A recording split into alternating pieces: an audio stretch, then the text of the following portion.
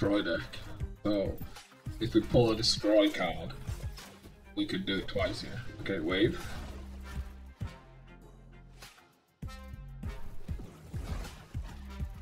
Wave.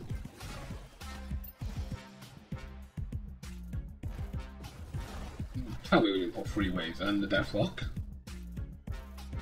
Right, and now does my Doctor Octopus pull again here? Yeah, it does. oh god. Whoa.